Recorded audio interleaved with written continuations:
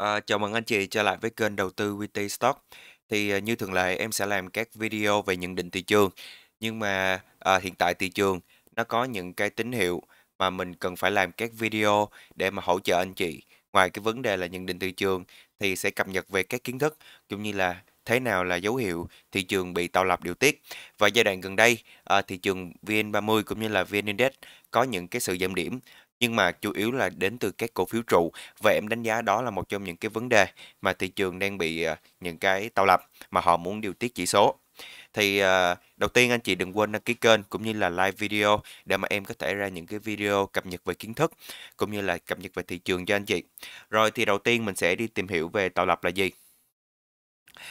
Tạo lập trên thị trường chứng khoán lâu nay thường dùng để chỉ những nhà đầu tư lớn có tiềm năng, tiềm lực về tài chính và cả kinh nghiệm chuyên môn tạo ra những cái biến động nhất thời để mình nuốt cá bé. Và có thể anh chị đầu tư trên thị trường này có những cái thuật ngữ mà anh chị uh, chưa nghe đến hoặc là anh chị đã từng nghe nhưng mà anh chị chưa hiểu rõ thì hôm nay em sẽ giải thích cho anh chị ha. Ngoài ra cái nhà tạo lập hay còn nói cách khác là market maker là một công ty luôn sẵn sàng mua hoặc bán một tài sản tài chính nào đó ở giá công khai về lâu dài. Nhà tạo lập thị trường trực tiếp tham gia vào các giao dịch với vai trò là người bán hoặc người mua và họ thường sẽ sử dụng những cái cổ phiếu vốn hóa lớn để mà có thể điều tiết chỉ số và gây cho một cái sự nhiễu loạn nhất thời trên cái thị trường. Rồi thì bây giờ mình sẽ cùng nhau mà đi sơ qua các thuật ngữ trong đầu tư chứng khoán mà anh chị à, nên nắm rõ. Rồi, à, thứ nhất là gì? Thứ nhất cá mập. À, có thể anh chị đầu tư các thị trường như là forex, à, crypto hay là chứng khoán Mỹ, chứng khoán quốc tế và chứng khoán Việt Nam thì anh chị chắc hẳn cũng đã nghe ít nhiều về cá mập. Đó, thì cá mập ở đây nhấn mạnh là các tổ chức lớn, các người nhà đầu tư mà họ có cái quy mô vốn cỡ vài nghìn tỷ đổ lên và khi mà họ bắt đầu giao dịch một cái số tiền lớn vào thị trường thì nó sẽ gây những cái biến động và gây sự nhiễu dẫn đến thị trường có những cái sự giảm điểm mà thực chất bên trong là những cái cổ phiếu trụ hoặc là những cái phiên kéo điểm từ các cổ phiếu trụ và các cổ phiếu midcap penny nó không có được dòng tiền đón và nó là một trong những cái tín hiệu mà anh chị cần nên cân nhắc khi mà mình đầu tư trên thị trường. À, anh chị có thể là mình biết được thế nào là thị trường đang bị tạo lập điều tiết để mà anh chị có thể mình chuẩn bị một cái kịch bản tốt hơn và mình đề phòng thị trường tránh những cái nhịp rủi ro. Thuật ngữ thứ hai đó chính là cá bé. Thì cá bé ở đây á, là chính là những nhà đầu tư nhỏ lẻ những nhà đầu tư mới vào thị trường hay nói cách khác là những nhà đầu tư F0 thì anh chị cũng có thể tìm hiểu là giai đoạn gần đây số lượng nhà đầu tư mở mới trên thị trường rất là nhiều.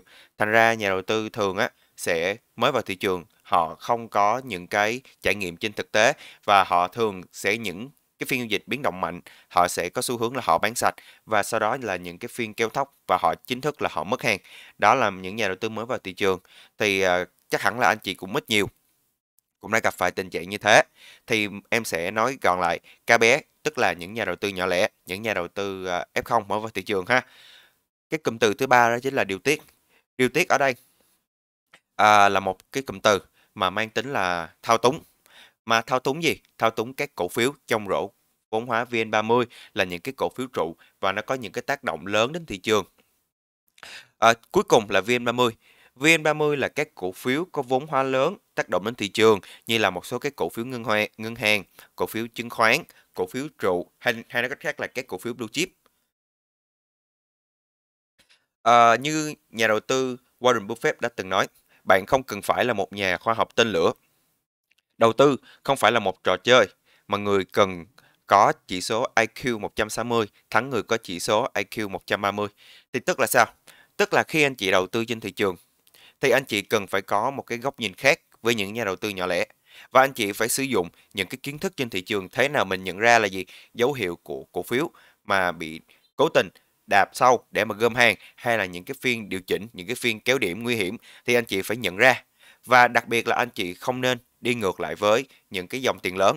Có nghĩa là khi dòng tiền lớn họ đã chính thức, họ à, không muốn vào thị trường thì anh chị tốt nhất là anh chị đừng đi ngược với dòng tiền lớn và anh chị phải xem xét cái cổ phiếu của mình là nó đã có dòng tiền lớn tham gia hay chưa để mà anh chị có thể nắm rõ hơn về cái xu hướng kế tiếp liệu nó sẽ tăng hay nó giảm và khi những cái nhịp giảm các cổ phiếu đó có được dòng tiền lớn bảo hộ hay không rồi ok à, rổ VN30 là gồm 30 công ty lớn, chiếm đến 80% tổng giá trị vốn hóa của thị trường chứng khoán Việt Nam. Và các công ty niêm yết trong rổ chỉ số VN30 được đánh giá cao về mặt quản trị công ty so với mặt bằng chung. Và các công ty nằm trong VN30 chiếm khoảng 60% giá trị giao dịch của thị trường chứng khoán. Thì bên phải màn hình đó là một số cái à, từ viết tắt của các cổ phiếu nhóm VN30. Ví dụ như là ACB là của Ngân hàng Thương mại Cổ phần Á Châu, BID là Ngân hàng Thương mại Cổ phần Đầu tư Phát triển Việt Nam, BVH là Tập đoàn Bảo Việt. Thì anh chị có thể xem những cái nhóm cổ phiếu này ở đâu. Thì anh chị có thể xem vào cái bảng giá Lightning của uh, công ty VBS thì em sẽ mở hướng dẫn cho anh chị xem à, để mình xem cái những cái cổ phiếu VN30 là những cái cổ phiếu nào. Rồi, thì anh chị có thể là mình search trên Google và anh chị search bảng giá Lightning vbs.com thì nó sẽ ra cho anh chị một cái màn hình như uh, trên video anh chị đang thấy. Thì anh chị click vào VN30 là những cổ phiếu mà trong rổ VN30 có vốn hóa lớn tác động đến thị trường. Ví dụ như là ACB, BID, BVH, CTG và anh chị kéo xuống thì anh chị thấy là gì? Có rất là nhiều cái cổ phiếu trụ như là Vinhome nè, Vic nè, Masan nè, MWG, à, Vinamilk, VJC. Thì đây là những cái cổ phiếu VN30 và nó tác động rất là lớn đến thị trường. Và tại sao em lại nói như thế?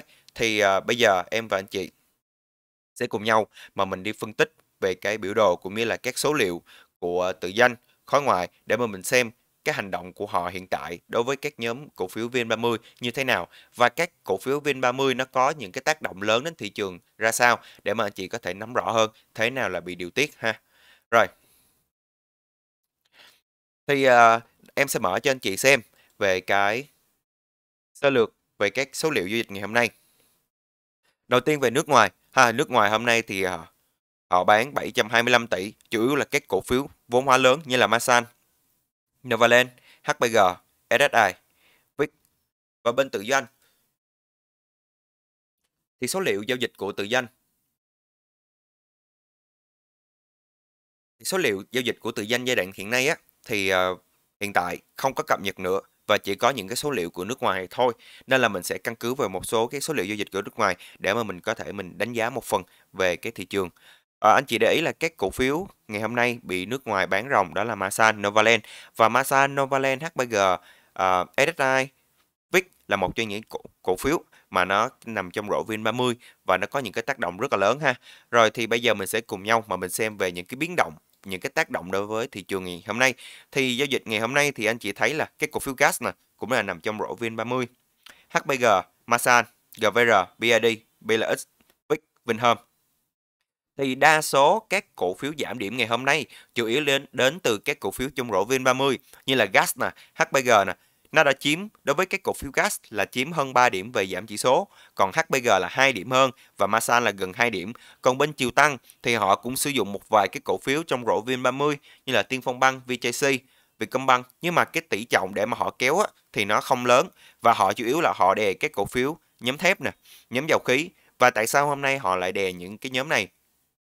Thì một số thông tin anh chị có thể tìm hiểu trên ờ, các trang như là invest.com thì Nga và Ukraine nó cũng dẫn đến những cái kết quả sắp có những kết quả về ờ, thỏa thuận trong cái vấn đề là Nga à, không có cho việc UK U à, em xin lỗi Nga không có cho uh, Ukraine uh, tham gia vào NATO và NATO và theo em tìm hiểu được á thì uh, Ukraine đã không tham gia vào NATO và có thể là sắp tới sẽ có những cái kết quả chính thức. Rồi, thì bên cạnh những cái thông tin em vừa chia sẻ thì mình sẽ cùng nhau mà đi về cái biểu đồ giao dịch ngày hôm nay với các cổ phiếu à, VN30 trước ha. Thì trước mắt mọi người, đó chính là một cái biểu đồ về cái chỉ số VN30 và anh chị thấy là hôm nay VN30 giảm 16 điểm. Đóng cửa ở mốc 1461 và khối lượng giảm ở đây dưới mức trung bình 10 phiên. Dưới mức trung bình 10 phiên thì chủ yếu là các cổ phiếu trụ như là gas, HBG bị lao ra kéo chỉ số và anh chị có thể là mình xem mình đối chứng một số ha. Bây giờ em sẽ mở cái cổ phiếu Masan lên để mà anh chị có thể hiểu thế nào là điều tiết và thế nào là làm giá. Như anh chị thấy nè, cái cổ phiếu Masan giảm nhưng mà khối lượng nó rất là bé ha anh chị ha. Khối lượng rất là bé và nó góp phần nó kéo giảm thị trường lên, thị trường xuống. À, mình sẽ so sánh mình sẽ so sánh để mà mình có thể nhìn rõ hơn về thế nào là cái cái cái thị trường à, bị điều tiết ha?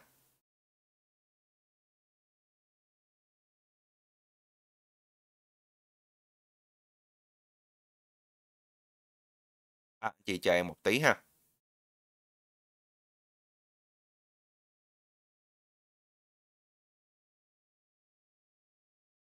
Rồi, ok.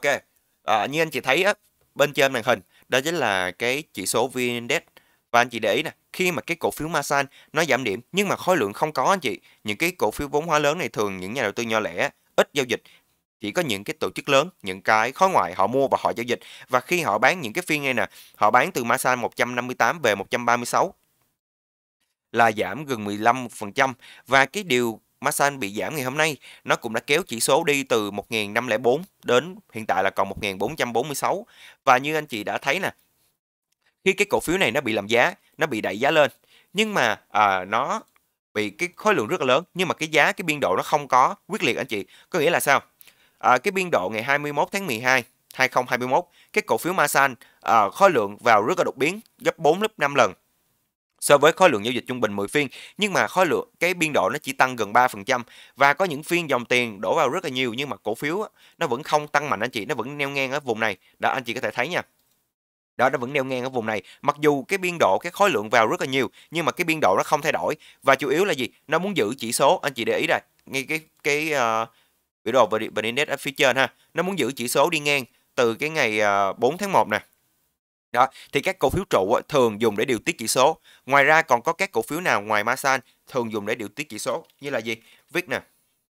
Đó anh chị để ý, cái cổ phiếu viết này khi mà thị trường tăng và đang trong những cái đà bật tăng mạnh, những cái lúc này là các cổ phiếu hàng hóa nè, bật tăng rất là mạnh ha, đạm nè, dầu khí nè, thép nè.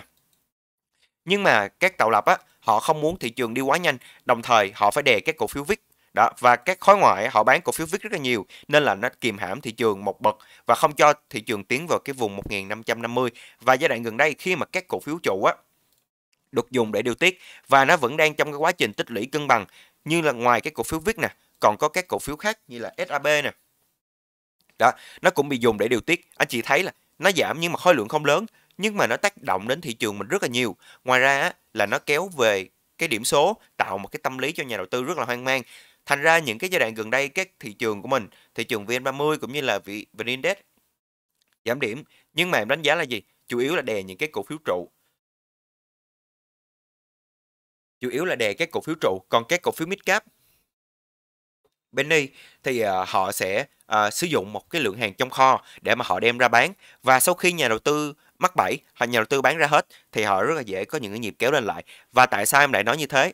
Thì anh chị có thể mình xem về một số cái cổ phiếu ngày hôm nay mà bị lôi ra trong bán trong phiên ATC ví dụ như là cổ phiếu đạm. Anh chị để ý cái phiên 2 giờ 30 nè vẫn còn đóng giá là 62.1 nhưng mà ATC lại lôi ra một triệu mấy cổ phiếu. Và đạp còn 61.8 đạp sàn luôn ha ngoài ra còn đạm Cà Mau nè. Đó Last nè. BFC nè. Hoa sen. À, hoa sen thì nó đỡ hơn một tí. Còn nam kim. Đó, nam kim cũng đạp gần sàn luôn nè. Trong phiên ATC lại lôi hai triệu mấy cổ phiếu ra. Thì đây là một trong những cái cổ phiếu mà nó cũng kéo chỉ số và nó à, thường để là đem cái những cái cổ phiếu này mà làm nhiễu cái phiên giao dịch. Thành ra tạo cho anh chị nhà đầu tư á một cái à, tiền đề giao dịch là gì? Mình rất là lo sợ và anh chị so sánh một cái biểu đồ VN30 và VN Index ha à, nó cũng khá là tương đồng khi mà VN30 nó cũng uh, đang trong cái quá trình điều chỉnh đúng không? Đang trong cái quá trình điều chỉnh rung rũ bởi các cổ phiếu trụ thì VN Index nó cũng bị tác động theo bởi vì VN30 nó nằm trong đó là hơn 60% các cổ phiếu lớn và tác động đến cái thị trường VN Index của mình. Nên anh chị để ý thường á, VN30 nó mà tăng thì cái thị trường của mình nó sẽ dễ tăng hơn. Còn khi VN30 mà nó có những cái nhịp điều chỉnh thì thị trường của mình nó cũng sẽ điều chỉnh theo cái nhóm VN30. Thì anh chị thấy nè, cái giai đoạn gần đây nè, từ ngày 23 tháng 2 2022 tới hiện tại VN30 là vẫn đang trong cái pha giảm đúng không? Và nó kéo thị trường của mình đã đi theo cái pha giảm. Ngoài ra một số cái cổ phiếu trụ á, nó cũng đang vận động rất là giống ha, rất là giống từ cái phiên uh, ngày 3 tháng 3 2022 nè. Đó, thì nó cũng kéo chỉ chỉ số thị trường đi xuống. À, anh chị xem lại cái giai đoạn tháng 1 nè, 7 tháng 1 nè, có phải cái nhịp mà đạp tháng 1 là do Tân Hoàng Minh á thì họ cũng dùng các cổ phiếu trụ như là Masan nè anh chị, đạp kéo chỉ số xuống, khối lượng rất là bé ha. Nhưng mà cái biên độ đi rất là lớn và nó kéo thị trường giảm từ vùng 1533 xuống 1426 nhưng mà khi các cổ phiếu trụ này cân bằng và tìm lại được cái vùng giá vốn cái vùng giá vốn của tổ chức cũng như là các tạo lập họ không muốn để chỉ số thủng quá sâu thì họ sẽ dùng các cổ phiếu trụ này kéo lên họ dùng các cổ phiếu trụ này kéo kéo lên, thì VN Index của mình nó cũng sẽ kéo lên. Đó, còn giai đoạn hiện tại em đánh giá như thế nào? Thì hiện tại các cổ phiếu trụ theo em đánh giá thì nó đã về đúng cái vùng giá vốn tổ chức, cũng như là cái vùng chiết khấu. Thì đối với các cổ phiếu Masan nó đã về 136 rồi, chiết khấu từ 162 về 136 là gần 17 18% thì nó cũng đã đủ để mà phục vụ các chỉ số cũng như là tuần này sẽ có những cái giao dịch biến động phái sinh. Nên thành ra cái quan điểm cá nhân của em từ cái phiên dịch ngày mai trở đi sẽ là những cái phiên phục hồi và mình phải xem lại à, phục hồi từ các cổ phiếu trụ hay là phục hồi từ các cổ phiếu mid cap và liệu có bền hay không thì mình phải đánh giá từng phiên giao dịch chứ không phải là mình biết trước được. Nên là em vẫn sẽ quan sát từng phiên để mà mình báo với hệ thống khách hàng của mình. Ngoài ra là gì? Ngoài ra là mình cũng phải xem các cổ phiếu mình đang nắm á, liệu cái dòng tiền lớn nó đã thoát hay chưa và mình có nên mình cơ cấu và mình sẽ tỉa cỏ trồng hoa khi mà những cái nhịp phục hồi của thị trường chung. À, thì em mình đối chứng là một xíu khi mà thị trường VN Index và VN30 ha anh chị. VN Index và VN30 á, thì uh, chủ yếu các cổ phiếu ngân hàng nằm trong rổ VN30 và hiện tại các cổ phiếu ngân hàng nó vẫn đang trong quá trình cân bằng tạo đáy, hiện tại giảm không không có sâu nữa ha anh chị ha khi mà thị trường giảm 20 điểm mà các cổ phiếu dòng ngân hàng nó vẫn giữ quanh tham chiếu đối với ACB thì đánh giá là gì? Đây là một trong những cái nhịp mà cân bằng của dòng ngân hàng và rất là dễ tạo đáy đi lên kéo thị trường đi lên. Khi VN30 bật tăng thì nó sẽ góp phần kéo VN Index trở lại. À, mình đối chứng một số cổ phiếu ngân hàng khác nha. Thì các cổ phiếu ngân hàng khác á, khi thị trường đi ngang anh chị, khi thị trường đi ngang và tạo lập họ muốn điều tiết cái chỉ số VN30 thì họ sẽ dùng các cổ phiếu ngân hàng đó họ đè trước họ đè cái cổ phiếu ngân hàng trước thì nó sẽ kéo thị trường của mình đi ngang à, sau đó nó sẽ có những cái nhịp chỉnh. Và khi cái cổ phiếu VN30 trong nhóm VN30 nó đã chỉnh xong rồi và đang trong cái quá trình cân bằng tạo đáy ở đây đó thì VN30 sẽ có những cái nhịp mà kéo lên để mà phục vụ phái sinh trong tuần này.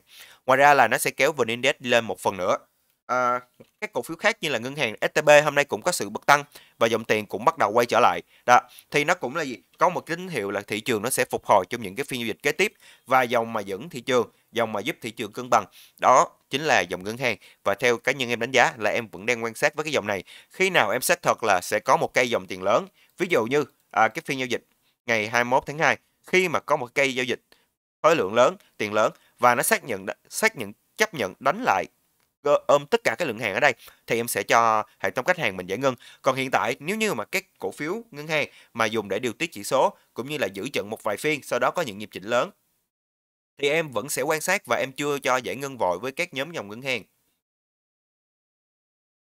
Rồi, thì uh, những cái gì em chia sẻ nãy giờ anh chị có thể là mình xem lại nếu như mình chưa hiểu uh, về các tạo lập là gì cũng như là VN30 uh, à, gồm các cổ phiếu nào và cái cách mà thị trường điều tiết ra sao thì em sẽ lấy một cái dẫn chứng cuối cùng về cái phiên giao dịch đáo hàng phái sinh và dùng các cổ phiếu trụ để mà điều tiết ha. À, nếu như mà anh chị trải qua trên thị trường này một giai đoạn à, cũng như là từ đầu năm 2021 á thì anh chị trải qua những rất là nhiều khung bậc cảm xúc về à, giai đoạn 2021 anh chị có thể thấy là gì? Cái giai đoạn này, đầu năm thì các cổ phiếu dòng đầu tư á, băng chứng thép thì nó sẽ kéo thị trường và rất là dễ đầu tư à, kiếm lợi nhuận. Còn giai đoạn hiện tại á, khi mà các tình hình chiến tranh xảy ra thì nó cũng hơi khó nhọc nhằn trong cái vấn đề kiếm lợi nhuận hơn. Nó sẽ không có những cái biên lợi nhuận 15-20% mà thường sẽ là từ 5 đến 7% là có những cái nhịp chỉnh rồi. Nên là anh chị cũng cân nhắc khi mà mình có lãi mình có thể mình hiện thực hóa nó đi. Rồi không có nói à, lan man nữa, em sẽ lấy dẫn chứng cho anh chị về một cái phiên giao dịch đấu hàng phái sinh và cái sự điều tiết của các cổ phiếu trụ. À, ngay, ngay cái ngày 19 tháng 8 2021 là chính bản thân em trải qua cái nhịp này khi mà thị trường nó đang cân bằng đi ngang và ngày cái phiên giao dịch đáo hàng phát sinh và nó bật tăng 13 điểm anh chị. Em nhớ rất rõ là họ kéo cái cổ phiếu VIX nè. Đó, thì cái cổ phiếu VIX này á, thường à, rất là dễ bị mà làm giá cũng như là gì? Cũng như là à, phục vụ cái chỉ số ngày đáo hàng phát sinh thì cái cổ phiếu VIX này ngày 19 tháng 8 nè, tự nhiên có một cây tăng 6% nhưng mà khối lượng đây rất là bé anh chị. Đúng không? Khối lượng đây rất là bé, không có đáng tin cậy và tăng cái cổ phiếu VIX á nó kéo thị trường lên rất là nhiều tăng đâu đó uh, sáu điểm và nó sẽ tạo một cái hiệu ứng tiền đề. Đó thì kéo dòng nhà đầu tư tham gia FOMO.